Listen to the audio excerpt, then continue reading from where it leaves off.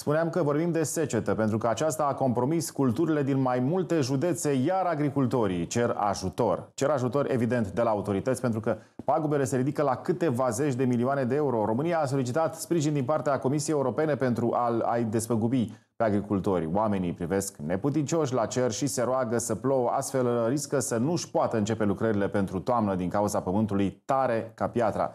Cererile de constatare a pagubelor produse de secetă mai pot fi depuse până pe 19 august. Și discutăm mai multe despre acest subiect cu Ștefan Muscă, fermier. Bună ziua, domnule Muscă!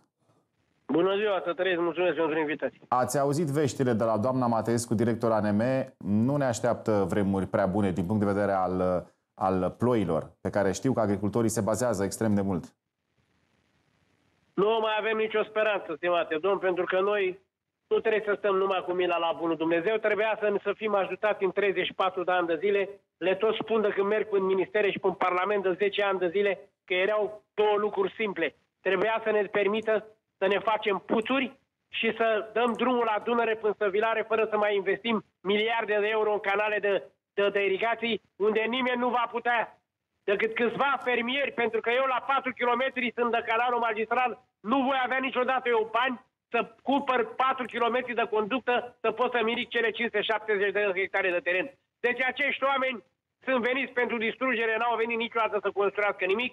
România nu mai are lideri și nici n-a avut așa prea mulți ca să fie oameni patrioți, să gândească la produsul românesc, să hrănim poporul român cu mâncare sănătoasă, le, le convine mai bine să vină din afară noi nu putem să mai suportăm, cred că peste 200 de mii de ferme la data de 31 octombrie își vor pune lacătul, pentru că 200 de euro pe care îi promite acest guvern este foarte, foarte puțin. Noi am investit între 4.500 și 5.500 de lei pe hectar, iar cu aceea 200 de euro nu am ce să fac. Ba mai mult, nu vom începe anul agricol și din motive datorită secetei și pământul este extraordinar de greu de lucrat, nu vom putea lucra dar nici cu bani, pentru că noi așteptăm, ne-a păgălit că două ordonanțe la 1 august, în care vom fi scutiți de, uh, de banii care trebuie să plătim la leasing-uri, de banii care trebuie să, să ne amâne la bănci. Nu s-a întâmplat nimic până la această oră, ne amână de la o lună de alta.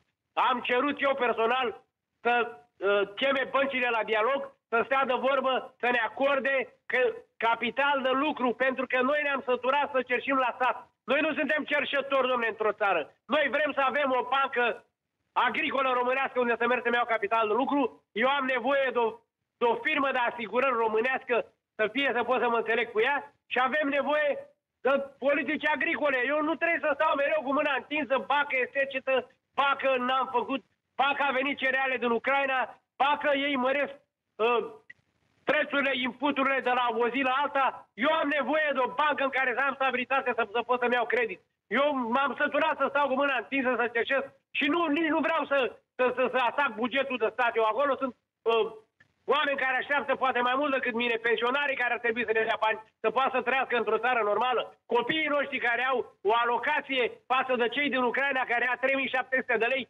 copiii noștri iau 290 de lei. Deci avem 200 de mii de copii care se culcă plămânzi din această țară. Bătrânii să zbată într-o sărăcie cruntă. Nu trebuie să vină să-mi dea mie la agricultor.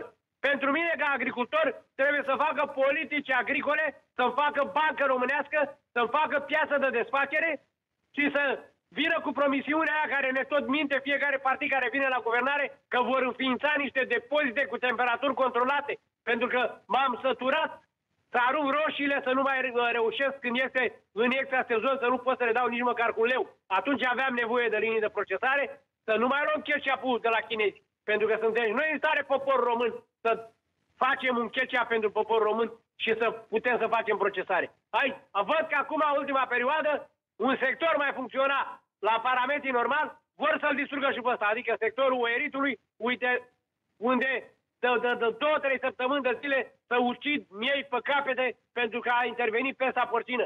Dar eu vă spun clar, dacă mâine noi scadem prețul la 10-12 lei kilogramul, nu există nicio pestă.